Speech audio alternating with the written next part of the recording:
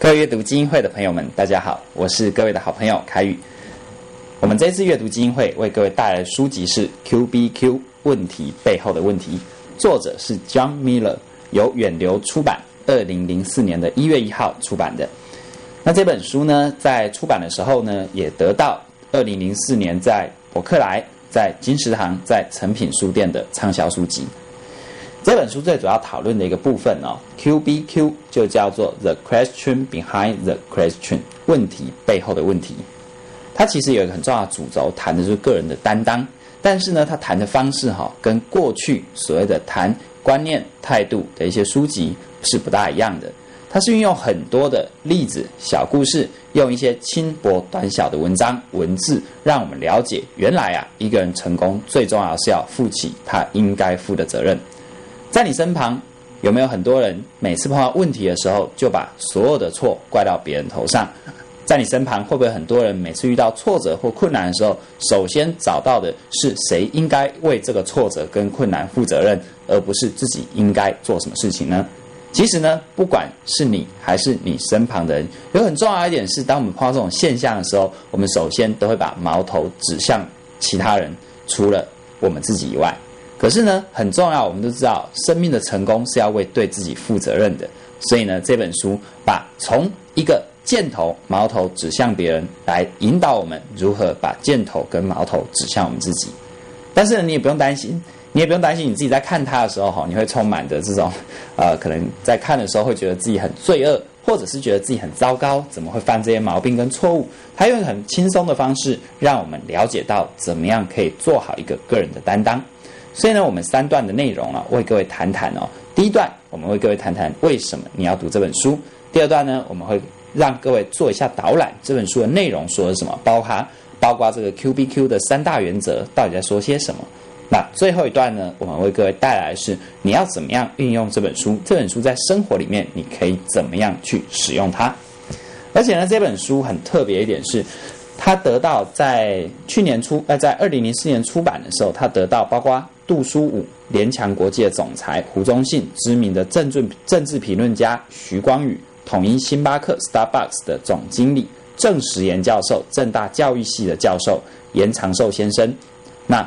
他他得到这些这个各界人士的一致的推崇。因为我相信，哈，对于这些人而言，不管是从政治面、教育面、企业面，还是从服务业的角度，或者是学术界的角度，都可以发现一件事情：现在社会当中有很多乱象，有很多事情为什么没办法有效的推展出去？其实都是个人担当出了问题。如果我们愿意为自己的现在、过去跟未来负责任的话，那我们都可以肯定的是，这个世界一定会过得更美好，我们的生活一定会更灿烂的。所以呢，在这样的一个状况之下呢，其实这本书呢，它的很多很多的部分，它最主要，John Miller 先生的使命就是要协助组织使个人担当成为核心的价值。个人担当呢，它运用一个轻松的方式，用一个易读的文字，轻薄短小的内容，更重要一点是哦，它可以让我们很清楚的知道我们的盲点在哪里，并且告诉我们怎么样去突破它。不过我在这边说，我自己在读这本书，的确，我用一个很短的时间就看完了，所以它读起来没什么压力。但是心中总有个遗憾，读完这些概念之后，我都发现自己身上有一些盲点。但是呢，很重要的一点是哦，这些盲点怎么去克服？怎么样运用？怎么样落实到自己生活当中去改善自己的心态？那这本书可能交代的就稍微薄弱了一点。可是呢，这位作者哦，很特别一点是。他出了这本书，在二零零四年的一月一号出了这本书之后呢，那他在二零零六年的一月一号，事隔两年之后哦，他也出了这一这一系列书的第二本，叫做《Q B Q 的五项修炼》。我也期待呢，在未来的日子里面，能够为各位来导读这本书《Q B Q 的五项修炼》，一样由远流出版社。更重要一点是哦，这本书在第二本 Q B Q B Q 的五项修炼当中，它就进一步的解决我刚刚提到的问题。也就是说，在 Q B Q 里面，让我们清楚知道可能产生的盲点问题，并且呢，我们呢，呃，面对这些盲点跟问题的时候，可能状况和这些盲点问题如果不改善，可能会造成的后果。可是呢，在第二本五项修炼当中，它就会告诉我们，我们怎么样去修炼五个基本的。定律、五个基本的态度，来让我们更有 Q B Q、更有个人担当的这样的一个意识。而这五个修炼分别就是学习、负责、创意、服务跟信任。那各位拭目以待。当然啦，你也可以先从这个。Q B Q 看起之后呢，一一路顺下去，顺便呢把 Q B Q 的五项修炼也一并把它读完。各位，我要这边特别声明哦，读 Q B Q 的这两本书是一点压力都没有的，而且呢，它也是一个很好的床头书或者是起床书。随着床头书，就是你睡前可以为自己反省反省；而起床书呢，就是因为它轻薄短小的特性，它浅白的文字可以让你在起床的时候给自己一天好的开始，让你自己很清楚知道。今天不管你碰到什么事情，不管你碰到什么困难，或者是不管你爽或者是不爽，你就是你自己的主人。关键不在你遇到什么事，关键在于你可以选择自己怎么想。那其实呢，这本书呢，很具体的部分哦，它就告诉我们，你你在面对的一些问题的时候，你应该有的态度，包含你有发现身旁有很多人常会问为什么？他在这本这本书里面呢，在他的第四。第四第四个章节里面，它这里面分成有大概是二十多个章节，这二十个多多个章节贯穿了它整个主轴主题，而它每一个章章节呢都是用短文的方式，所以呢，哦，我这边更正一下，总共有三十九个章章节，这三十九个章节都是用短文的方式，读起来是很轻松的哦。那其中呢，它第四个章节就说别问为什么，你有没有听过几个问题？比如说有人在抱怨别人为什么不认真一点？有人在抱怨说这种事情为什么落到我头上？还有人会说为什么他们要为难我，让我没办法好好做事？你有没有发现哦？这种语气充满了无奈、无助跟无力。当你陷入一种受害者的心态里面，就如同杰克·威尔许先生在他《制胜》这本书。里面所提到的，不管你碰到的是恶主管还是一个不好的公司，千万记得一件事情：不要自怨自艾，不要让自己陷入停止进步，也就是受害者的状态当中。他这边用的方式是小媳妇的语气和心态，那基本上呢，跟受害者心态谈的是一样的。所以，你有没有发现哦？也许你在听我的导读，或者你在听我的引导，甚至你在看这本书的过程当中，你一直脑中联想到的。是很多人都会犯这个毛病，但是唯独你没有联想到自己，那这个现象也是要值得好好的讨论哦。所以呢，当你眼中看到都是别人的缺点的时候，自然而然你根本没有意识到自己可能犯同样的错误。所以呢，其实人生呢，总总是难免会碰到一些不公平、不顺利，或者是一些让你难以忍受、接受的状况跟对待。那这个时候呢，千万记得一件事情，你可以选择，你可以做什么事情改善这个现象，千万不要让自己陷入受害者状况当中。所以呢，在里面呢，在他第四个章节当中，他也都提到了这个观念可以怎么样去做转化。他这边也举到一个例子，就是呢，他在坐飞机的时候，刚好遇到一位这个男士，互相自我介绍，然后呢，一位呢，当然就是作者本身 John Miller 先生。另外一位呢，他就是在这个；另外一位呢，就是在这个。我看一下哈，另外一位他这边没有写是什么样的一个工作。就在他们对话当中，其实呢，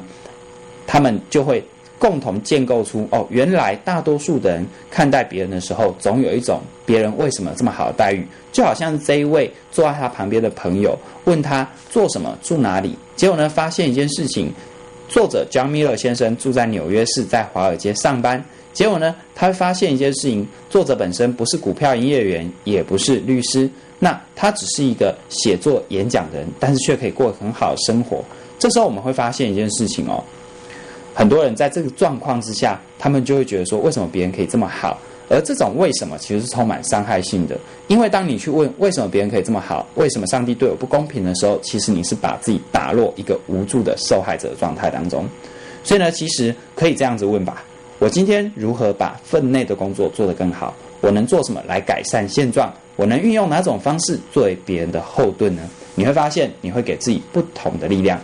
如果呢，你本身是一个人力资源部门的主管，或者是你负责一家公司。或者你觉得你你自己的生活压力很大，你常会有一些拖延的状态，你常常需要面对很多的问题跟压力，那这本书对你来说又尤其的重要。因为当你碰到这种状况的时候，当你碰到一些难解的问题的时候，难免心中一定会问那个问题，叫为什么是我？所以呢，千万记得把它拿掉。那拿掉它，如果能借由这本轻薄短小的书籍，那我相信这种投资报酬率是再高不过的。那接下来呢，我们就来看了，在他第七个章节当中，他也提到一件事。进一步，刚刚提的是为什么？进一步，这第七个章节标题就是我怎么会碰到这么倒霉的事？为什么我建议各位读这本书呢？因为这本书哦，我们我们说哈，它真的很容易读，很容易理解，而且很轻松。总要拿出一些证据。那这个章节就是一个证据。他说一个故事哦，他说，在十二岁那天的某个礼拜天的午后，Stacy 和飞行员老伴。老爸不是老伴，登上了一个飞机上面，享受飞机的乐趣。但是升空后不久，就在密西根湖上方一里的地方，这块这对愉快的父女的这个探险突然停止，因为飞机的引擎熄火了。这时候呢，老爸就转头看 Stacy，用一种平静、让人放心的口吻说：“亲爱的，引擎不动了，我得用不同的方式来开这架飞机。”各位。听得听得听出来这句话的玄机吗？好有趣的一句话，用不同的方式来开这架飞机。今天我发现，在我们人生当中，总会碰到一些问题、挑战跟困难。这时候你用的语气是什么呢？你如果是用这一个章节的标题是“我怎么碰到这么倒霉的事”，我相信你那个时候你会瘫痪、紧张、焦虑。不仅你是你自己瘫痪、紧张、焦虑，你还让身旁的人更为害怕。可是呢，这个有智慧的老爸告诉他的女儿：“我们用不同的方式开这架飞机。”那我们都可以预料得到，这个故事的结尾就是他的引擎又再度了启动，让这一对这个妇女而避免了这个坠机的危险当中。所以呢，其实你有没有发现，关键啊不在于你碰到什么事情，关键在于你碰到一些事情的时候的态度。成功的人呢，会在危机当中看到机会；而失败的人呢，会在机会当中看到危机。观点、角度、态度，真的会决定你的命运和未来。所以呢，这个小故事哦，你也可以从这里面得到一个证明，是这本书真的值得一读。因为呢，其实他不跟你说大道理，但他每个小故事都能够敲醒你心中的一些盲点跟迷失。更进一步来看，在在他的十六章节当中提到的是击败你生命当中的裁判。我们知道一件事情哦，有时候呢，我们呃在运动场上面，我们有时候比如说跆拳道，比如说摔跤，比如说拳击，这个时候呢，你有没有发现哦？除了你本身的技术之外，其实裁判的判决也会影响到你的胜负。所以呢，在这第十六章节当中呢，他就提到哦。有有一个这个他的父亲呢，吉这个吉米米勒先生，那个时候呢，他在康奈尔大学担任摔跤教练长达二十五年。那那个时候呢，John Miller 先生在他的父亲的调教之下，终于要披挂上上阵的时候，这时候他的父亲提醒米勒先生说：“你要击败三个人，第一个人是你的对手，第二个是你自己，还有裁判。”击败你的对手，这当然是没有问题的。但要击败自己，只击败自己心中的不确定、没信心，或者是呢，让自己呢会一些紧张、焦虑等等的。但是更特别一点是，他说你也要击败裁判。为什么要击败裁判呢？这时候他的父亲对于这方面的解释是这样的：无论双方的实力多么接近，即使你在加赛的时候输了一分。即使他做了几次有问题的判决，你还是不能责怪那位身穿黑白条的人。于是呢，父亲的结论是：如果你想赢，你就要厉害到能够击败裁判。这让我想到电影呢，这个洛基系列的第四集，在第四集当中呢，洛基他就到这个那个时候叫苏二哦，在打拳赛。那当然了，他他一个人到一个充满敌意的这个苏二苏联哦，那当然他会受到一些压力。尤其是呢，这个对苏联来说呢，那是他们的主场嘛，主场优势。但故事的结果呢，洛基呢，他就赢了那一场拳赛。他不仅赢了那场拳赛，他还赢了整场观众，包含了那个时候那个苏苏联的这个这个苏联的共党的总书记啊，总这个这等于说是苏联的主席的一的起立鼓掌。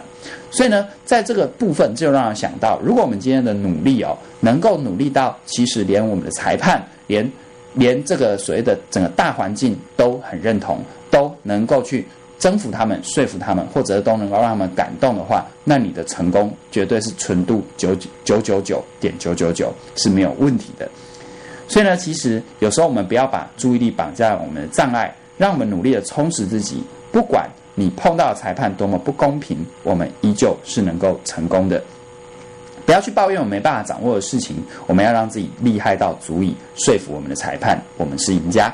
所以呢，其实你有没有发现一件事情哦？他就用这种简单的方式，用他生命当中的小故事，但是一步一步的让我们知道，其实生命的主人本来就自己。我们真的没有，我们真的不能把我们的权，我们生命当中的决定权交到别人的手上。其实呢，你会发现一件事情，有时候呢，考试不理想，这个事业不顺利，或者是呢，这个感情不顺遂，家庭不和乐，有时候我们都会觉得说是别人的问题。但是呢，其实一个人绝对不是过去的。囚犯也不是经验的奴隶，而你是现在的主人，你可以决定你现在自己怎么想。正好想到有一个有有有一对兄弟哦，这个哥哥呢很成功，非常的积极认真向上，但弟弟呢酗酒，然后呢这个这个一事无成呐。那有人呢就反问这一对兄弟，问他们问哥哥为什么你会那么成功，也问弟弟为什么你会这么潦倒，他们的答案居然是一样的。他们的答案都是因为我有一个酒鬼爸爸。哥哥就说：“因为我有个酒鬼爸爸，所以呢，我知道我不能像酒鬼爸爸一样，我要更努力，我要有一个反向的动力，让我自己攀越人生的高峰。”但他的弟弟却说：“因为我有一个酒鬼爸爸，我在这么糟糕的环境之下，所以我只好选择我要过这样的生命。”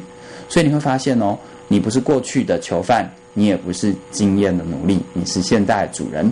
所以呢，从自己做起，让我们自己。投身，让我们自己言行一致。而这本书呢，其实我觉得哦，如果你本身是一个人资部门的主管，除了你自己一定要看之外，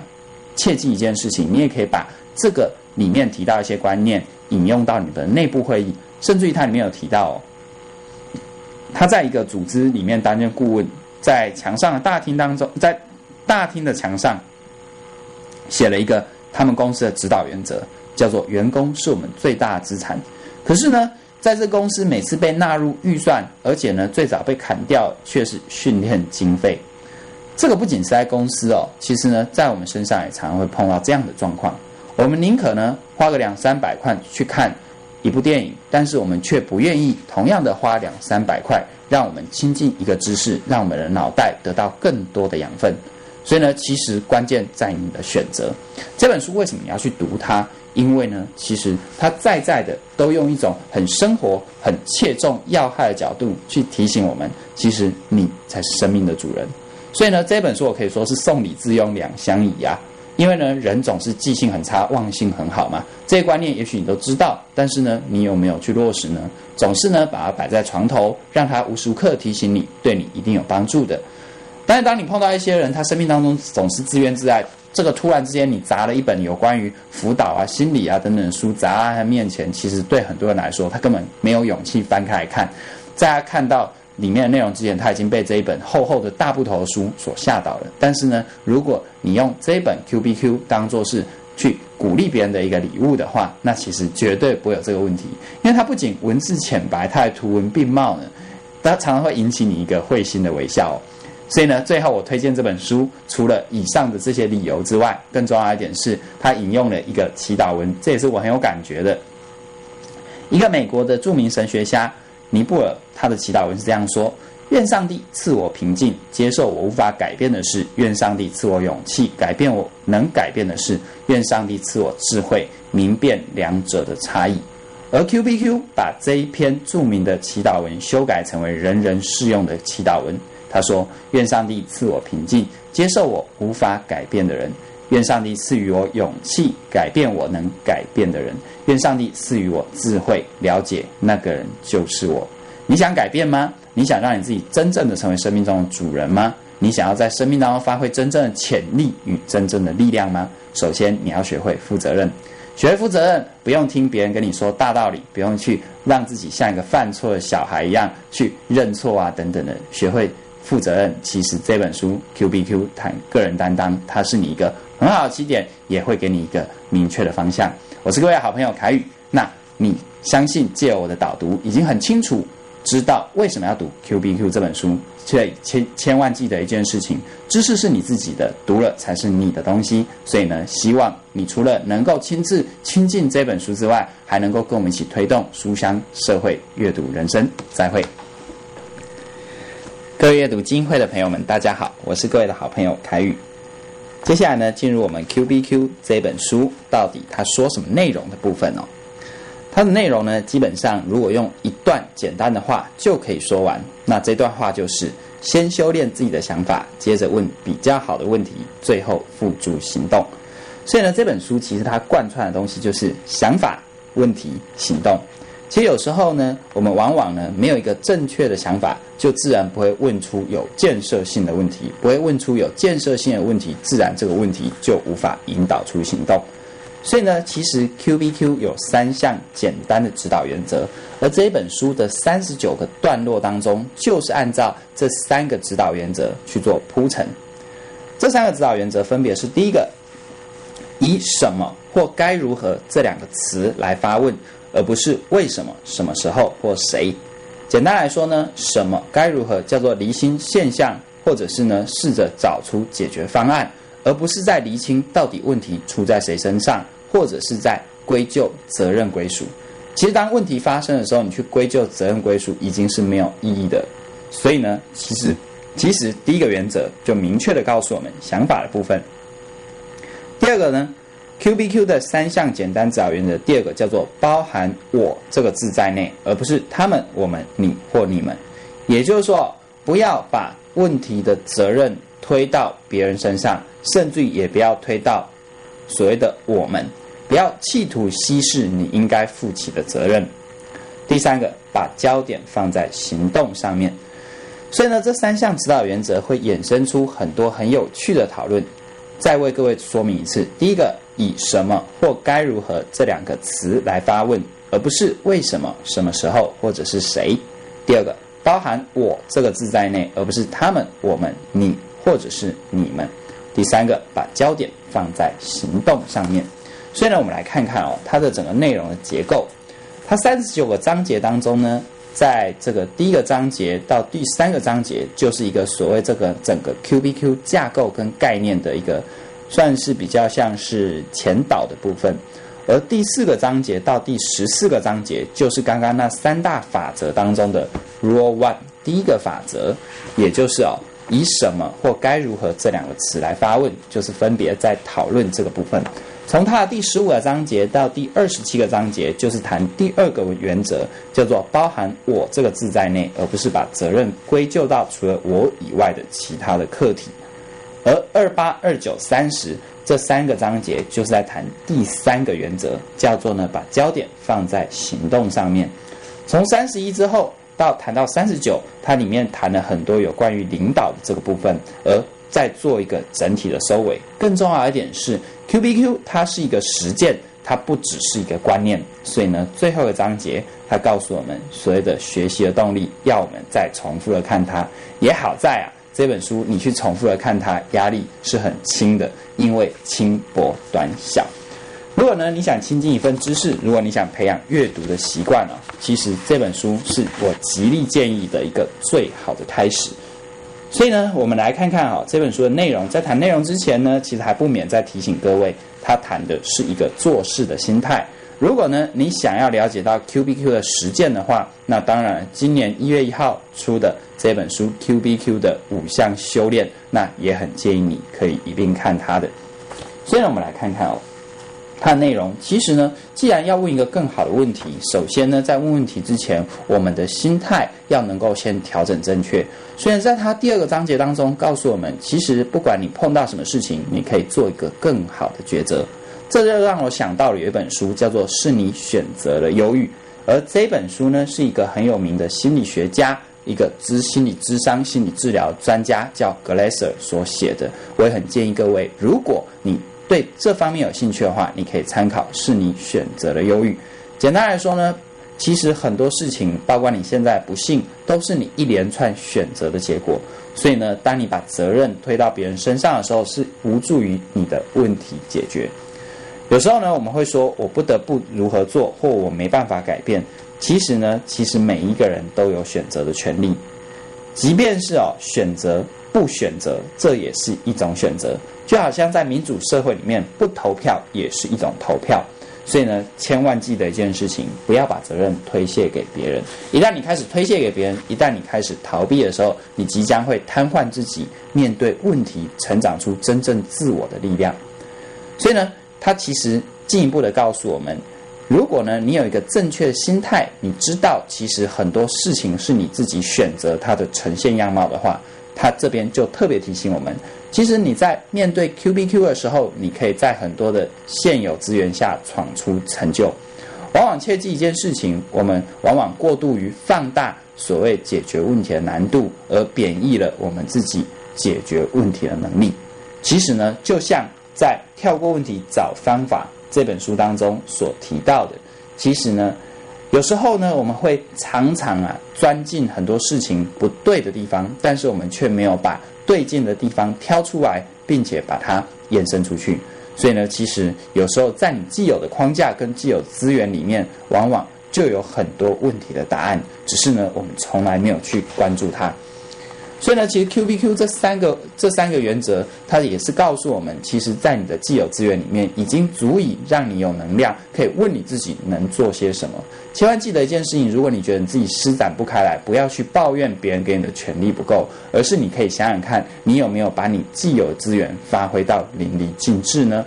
这东西是我们值得去深思的。所以呢，在他第十四个章节部分，他就进一步告诉我们，用一个非常非常好的隐喻，他说：“烂水手责怪风向，船开的不好啊，不要怪风啊，那是你的问题。”所以呢，有担当的人，其实他会责怪谁呢？他谁都不怪，包含自己在内。因为呢，我今天烂的结果是过去我所造成的，而如果我去责怪今天的自己，或者是我去责怪过去的自己没有办法帮助我未来过得更好，那我连自己都不要去责怪，我把我责怪自己的力气专注在想或专注在做，我怎么样可以改善现况，那才是有意义的。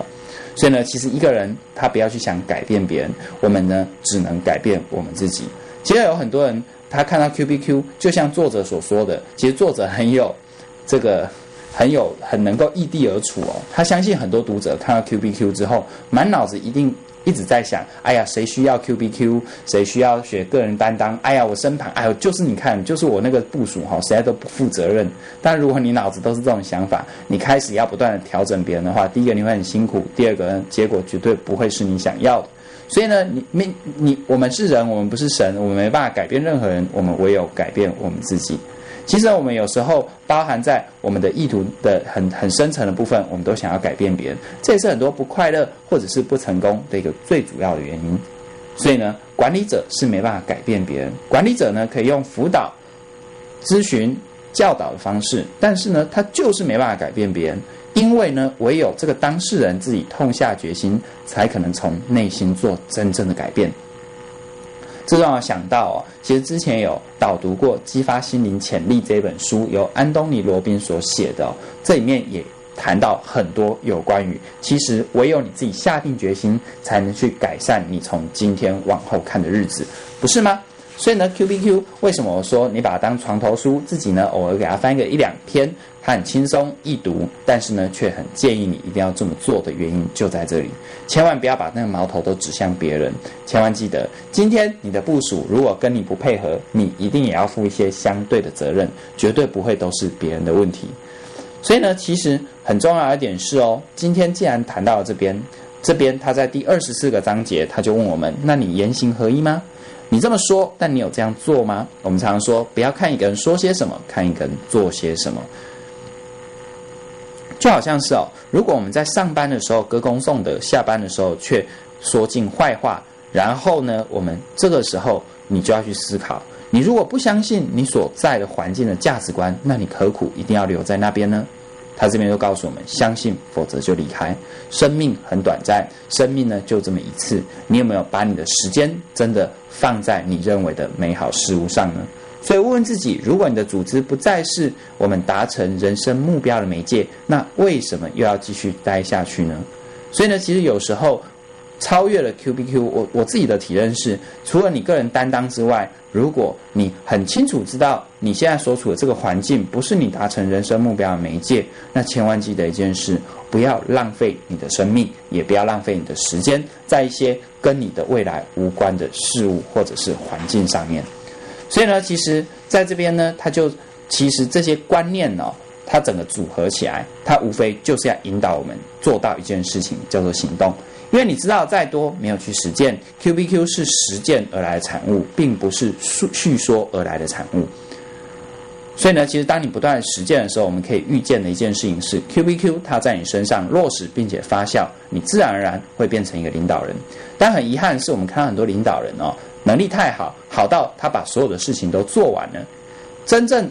符合 Q B Q 观念的领导人，他不是纵容别人，一肩扛起别人的义务和责任。更不是单靠自己的力量为别人代劳，而是呢，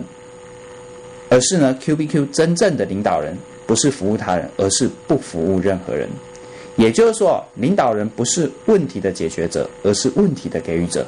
所以呢，其实回到这本书有一个很重要的一个部分，它整个内容，它整个内容，它除了告诉我们问题的发生你要有个人担当之外，它更进一步的告诉我们，其实当问题发生的时候，怎么样问对一个正确的问题，往往又是一个其中很重要的关键。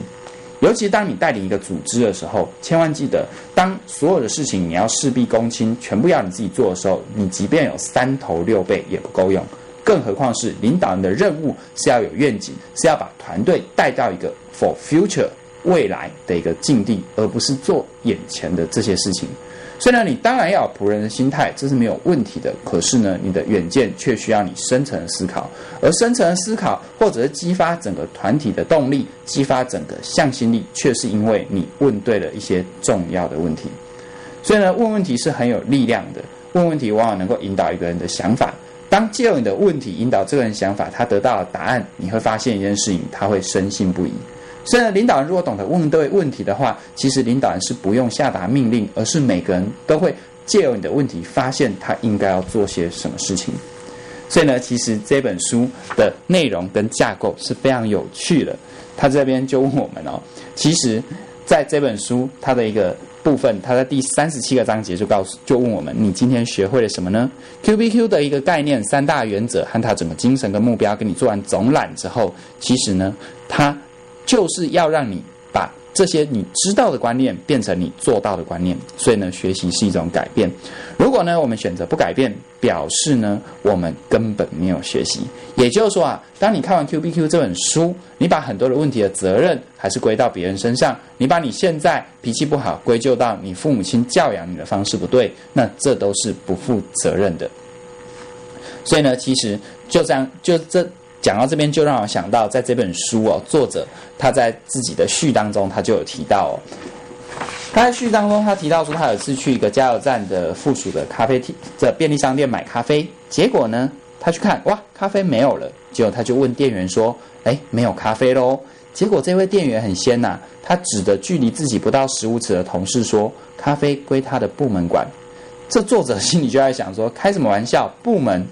这个便利商店的总面积还不及他们家客厅大，居然还有分部门。这也就是你会发现一件事情哦。其实对于这个店员而言，去补充一个咖啡，对他来说只是举手之劳，而他为什么没有这么做呢？就如同生命当中有些事情的看法，往往只是一念之间，或者是很多事情，你只是因为问对问题，从你是一个受害者变成是一个拥有力量解决问题的人，这其实都不难，在我们的理性层面。但在我们非理性的层面呢？你是不是让自己期许自己，让你自己变成是一个有担当的人呢？所以呢，其实生命当中它有它的使命跟任务。但不管你有任何的才华才能，千万记得把你的生命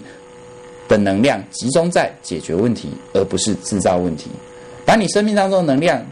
集中在问对问题，而不是直接，而不是直接忽视问题的力量。所以呢，其实当你面对自己的时候，你可以负起责任；当你面对领导的时候，你可以用。对的问题去引导所有人，激发动力，就是这本书整个内容架构告诉我们的：于外于内，于原则于终极目标行为，都跟我们做一个清楚的交代。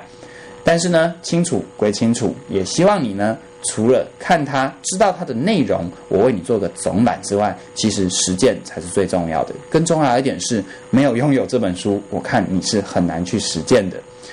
生命当中总是会有很多很多的不如你意，就如同张忠谋先生他写过一篇文章，他的标题叫做“常想一二”。也许你会想说，“常想一二”什么意思呢？他这篇文章的衍生就是从我们知道有一句话这么说的：“人生不如意事十之八九。”所以你应该听出来喽。张忠谋先生这篇文章的意思就是说，既然人生不如意事十之八九，十件事有八九件事不如意，那切记一件事，你要让你自己的生活快乐，让你生命更有力量，那你就去常想那顺利的一两件事情吧。所以呢，常想一二，而下一句就是不思八九。你一定有能力，你一定有力量，过一个更好的生活。首先呢，你要先学会负起你生命当中你自己是你自己主人的责任。祝福各位，希望各位都能够跟我们一起推动书香社会、阅读人生。再会，各位阅读金会的朋友们，大家好，我是各位的好朋友凯宇。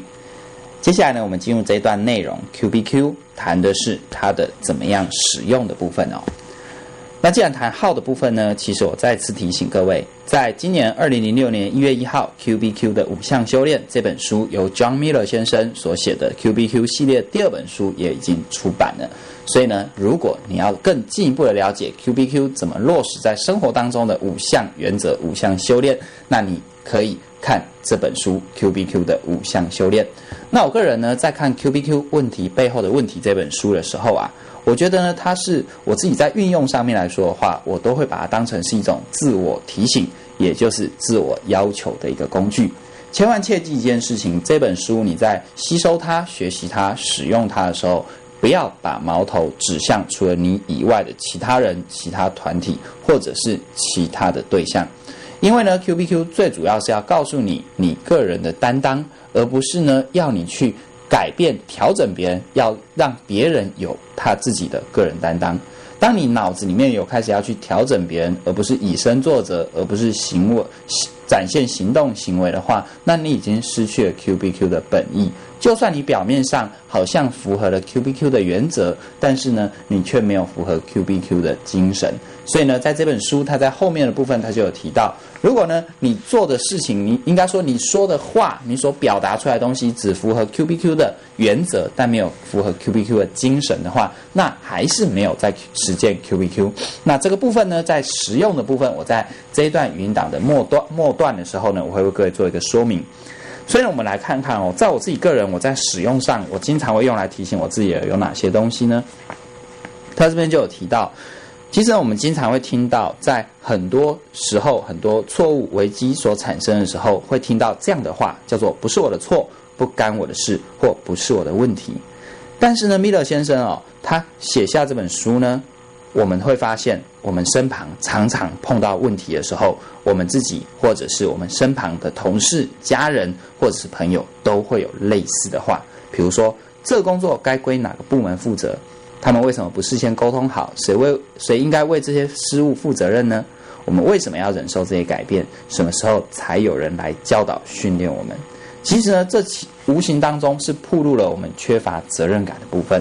所以呢，我自己就会常常哦，在我自己当我发问、脑子里面有念头出现的时候，我就会检视我这个问题呢，我这个脑子的一些想法呢，是把责任归到别人身上，还是把责任呢，让自己很清楚自己是要去负起一定的责任的。所以呢，其实呢，我觉得你也可以用这种方式去思考看看，当你碰到危机问题或状况的时候，你首先把矛头指向外，还是指向你自己呢？除了呢这个部分，我觉得是一种心态的转变和一种所谓的自我提醒的系统之外呢，更重要一点是哦，其实我们说，当你不断的去让自己有这方面的修炼或者是修养，这么说也可以。如果你开始去做这样的事情的时候，这边有一句话给我自己很大很大的提醒。其实呢，如果你是一个团队负责人、团队领导人，或者是呢你的工作或者你生命当中你需要大量的跟其他人合作的话，你也可以用这句话当成是自我提醒的座右铭。这句话这么说的，我自己也把它当成我自己的座右铭。他说：“队友就是把你看透以后，人觉得你是很好的人。队友就是把你看透以后，人觉得你是很好的人。各位，你有没有这样的信心把握？你身旁跟你共事合作的人，把你的这个身上的这个，把你身上的所有的这个概念啊、能力啊，也就是说啊，把你的底细全摸清楚之后，仍然会觉得你很好呢？这表示你言行一致，表示呢你愿意负起生命当中应该要负的责任。所以呢，其实这本书，我觉得呢，它在使用上面，它很多话，你可以把它当座右铭。除此之外呢，它教我们运用改进我们问问题的方式，帮助包含我们在内的个人发挥个人担当的精神。所以呢，这我在第二段的语音内容当中有为各位说到。那我们进一步来看，在实用的部分问更好的问题怎么问呢？其实呢，这是建立在一个作者的一个观察。因为他观察到很多人碰到状况的时候，在第一时间往往会做一些负面的反应，这就让我想到我之前有导读过的一些书哦，那里面都有提到人有焦虑的本能，好像是比如说《不断幸福论》这本书也有提到类似的概念。因为呢，我们在远古时代的基因告诉我们，如果呢一个人是不懂得因为一些蛛丝马迹去联想到可能的负面状况，比如说。当你在你的洞穴附近看到一个很大的脚印的时候，这时候你没警觉到已经有野兽在附近出没，那你是不是很容易被吃掉呢？所以呢，我们的基因传承下来，的确焦虑有它正面的意义。焦虑让我们更能够未雨绸缪，焦虑让我们能够保护我们自己。可是呢，时至今日，这样的焦虑本能，当它被留下来而摆到现在的社会，现在已经没有所谓的猛兽。等等的，让我们去担心。可是呢，我们这样子反射式的负面反应，却会一直困扰我们，一直困扰我们，让我们会把自己保护的紧紧的。但是呢，保护自己相对而言，当你是抱持一个封闭的心态，你就不会去思考进一步的可能性。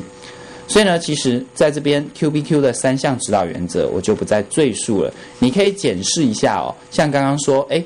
谁要为这件事情负责？那这是不是就会把一个问题推向负面的反应，但如果你能够问我能够做什么，或者是呢，在这件事情里面我能失利的点在哪里？其实你会发现，同样的状况，别人看你，包括你自己对自己的肯定，会绝对是截然不同的。虽然其实我觉得我自己在使用这本书的时候，我觉得会去慢慢的潜移默化调整我平常碰到问题的时候的问话方式。比如说呢，当有人跟我分享他最近有些计划的时候，这个时候呢，我不会，我我脑子里面的想法，我会让自己从原本的这干我的事或不干我的事，变成说这件事里面我能帮上什么忙，我能做些什么。这也在增进人际关系的部分，我觉得对我来说是非常受用的哦。那除了除此之外，其实你有没有发现哦，这样的问话方式也是无形当中，不管是由外影响到内，还是由内散发到外。也就是告诉我们，不要去责怪别人，不要我们碰到任何问题的时候就会思考谁的错，谁没有在期限内完成，或者是谁的失误。这样的话，其实会造成团体之间的对抗冲突，而且呢，对于大家把问题解决、危机处理掉，是一点帮助都没有的。所以呢，其实他这边就举到，我觉得是蛮像绕口令的。他说，从最小的团体到最大的企业，从最基层的群众到全世界最有权势的人，有一种名叫责怪的瘟疫正蔓延开来，几乎无人得以幸免。执行长呢责怪副总裁，副总裁责怪经理，经理责怪员工，员工责怪客户，客户责怪政府，政府责怪人民，人民责怪政客，政客责怪学校，学校责怪家长，家长责怪青少年，青少年责怪爸爸，爸爸责怪妈妈，妈妈责怪他的经理，经理责怪副总裁，副总裁责怪执行长，没完没了。这个就是作者所谓的责怪链。正因为呢，它是如此的真实，所以呢，会带有一些滑稽的成分在里面。所以你会发现，当你在怪东怪西哦，就不去想想看自己能做什么时候，它倒退回来，就像地球是圆的一样，它倒退来还是会反咬你一口哦。因为责怪以及去问究竟是谁的搞鬼，对于解决问题是没有帮助的，反而会制造恐惧、焦虑，摧毁创造力，在人与人之间筑起高墙。人们呢，不借由。脑力激荡和团队合作把事情做好，反而激烈的去指责而一事无成。除非呢停止彼此的指责，开始实践个人的担当，否则绝对不可能发挥最大的潜能。所以呢，符合 Q B Q 三个原则的问题，应该是我该如何解决问题？我该如何尽自己的力量推动这项计划？我该做哪些事情来一肩担起眼前的成败责任？所以呢，其实有担当的人，他是谁都不责怪的，包含他自己。他会专注在他能做的事情，他能掌握的资源，而不是责关注在这个责任到底应该谁做归属。所以呢，其实这无非就是一种所谓的主人的精神。什么叫主人的精神呢？在这边举一个例子哦。作者呢，因为他电话出现了杂音，结果呢，派电话公司人来修理。第一个请了第一个修理的工人，很卖力的修了一阵子，回去了。但到第二天杂音又出现，又派另外一个来修理，结果呢，问题还是在发生。就到了第三个工人来了之后，作者描述了整个问题，并且呢，接着听听看这个第三个工人会有什么抱怨。因为呢，作者预期这个人一定会说尽前面两位同事的坏话。但是呢，这位朋友反而没这么做。他说了一句非常有力的话。他说：“米勒先生，我们无法解释这种现象，但我很乐意为此道歉。”这就是所谓的主人精神，承诺用自己的智能、心力和劳力来解决问题，而绝对不再争功诿过。所以呢，其实我觉得这是一种承诺。也有人说哦，其实呢，你要在职场上面成功，首先你就要学会。先用老板的角度去想事情，这也就是这个意思。如果你从这个企业的老板、从这企业的执行长的角度来想事情，自然你很多事情、很多事很多眼光会更宏观，很多抱怨会随之而烟消云散。所以呢，切记一件事情：集中到你个人的力量，不要把焦点模糊掉。其实呢，很多人都是团队的信奉者。但是呢，如果不谨慎小心，到头来你可能会运用“团队”的这个词汇、这个语言，就是“我们”这两个字来取代你个人的担当。比如说，你会说团队没赶上期限，团队没有得到足够的资源，团队没有把事情做好，团队的任务不明确。但是你有没有发现，一个好的团队是好的个人组成的，所以呢，个人的担当重点不在改变其他人，而是改变自己，而改变现况。所以呢，个人担当是个人力量的一个延伸，而千万记得不要用“团队”这两个字和它象征的语言来当做是借口，这等于无形当中讲重一点哦，就等于你强奸了“团队”这两个字。哦，强奸这两个字的字眼是很重的，但是在很多比如说这种有关于一些学术上权力的一个探讨，或者是性别阶级等等的探讨，都用强奸或强暴这两个字，因为它很深刻、很生动，它象征一种侵犯。所以切记一件事情，不要扛着团队的神主牌而怎么样，而逃避你个人应该负的一个责任哦。好，既然这样的话。呃，个人是一个很重要的元素，而个人力量的延伸，它除了能够让团队更有力量之外，其实它无形当中创造一个领导的情境。而什么样的人才是领导人呢？其实领导不是一种位置，领导是一种选择。一个人到公司的时间长短，不代表他是不是就能够成为一个领导人。充其量，他只是拥有一个可能比较好的职衔、经理或者是副总的这样的人罢了。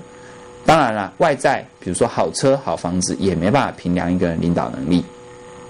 其实呢，领导能力是跟个人的想法息息相关的。就算呢，你初来乍到到一家公司，但是你的脑袋是用领导人的思维，那很快的，你就会成为这家公司的领导人。领导呢，是无时无刻修炼自己的想法，撇开角色与层层级不谈，领导是实践个人担当。决定做出正向贡献的那一个人，所以呢，只要你用领导人的角度思考，每个人都可以是领导人。所以，其实我觉得这本书在应用的部分，真的强调到它一个精神价值层面，它就是在训练你怎么样领导，用领导人角度来想事情。因为领导人通常是一个公司或一个组织位阶最高的。今天呢，也许呢，你如果只是一个经理，你有问题，你还可以抱怨你的总经理；你有状况，你还可以请人支援跟支。跟你，你等于说往上找，还有你的父母亲往上找，你有你的上司跟主管。但是如果你是一个领导人，你是一个企业领导人，最最大那个头头啊，你可是没有这样的一个人或这样的一个权利。但是呢，你会发现你没有这样的人，没有这样的权利，你就会开始去想我能做什么，而不会再把问题的责任推到其他人身上哦。所以呢，Q B Q 最后呢，他在这边就谈到，你要符合的是 Q B Q 的文艺。就是表面上的原则，你更要符合他的精神。他的原则呢，就是以什么该如何带的形式问句，而不是推诿。比如说为什么、什么时候换谁。第二个包含我这个字在内，而不是他们、我们、你或你们，而且第三个把焦点放在行动上。但它背后的精神就是个人担当，个人担当分别就是不要有小媳妇受害者的心态，不要再拖延或者是怪别人。第二个精神叫做我只能改变我自己，不要试图改变别人。第三个当下就去执行，just do it。所以呢，其实 Q B Q 的精神哦，这是很重要很重要的。可是很多问题可能符合 Q B Q 的表面的原则，但是呢，不符合 Q B Q 的精神。比如说，我该如何改变你？我该如何避开这件事情的责任？或者是我今天可以怪谁？所以呢，你有没有发现一件事情？这些问句完全符合这三大规则，但是呢，他的精神却是违背了个人担当的精神。作者就说，违背 Q B Q 的精神，这样的问题就不算是 Q B Q。所以呢，其实，在作者虽然他用一个轻薄短小、简易的文字，但是呢，他的内在却是很坚持他 Q B Q 原汁原味到底在说什么。Q B Q 它强调就是你个人应该担负的一个责任，它不是要让你用 Q B Q 的原则去当做是一种借口说辞，而把不把责任推诿到别人身上。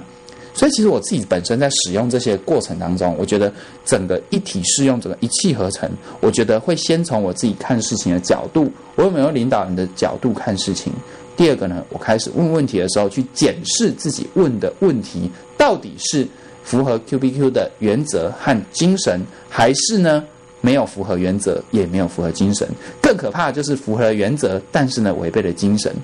所以呢，这个都是我在运用上面会常常提醒自己。但是当然，最后这本书就告诉我们，重复是学习的动力啊。